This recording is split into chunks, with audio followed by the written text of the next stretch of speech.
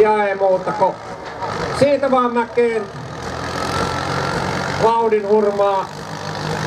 Ja savua putkesta tulee ja kyllä siellä vähän hymyilyttää kuljettajakin. Ja 360 kellolla aikaan 19.98.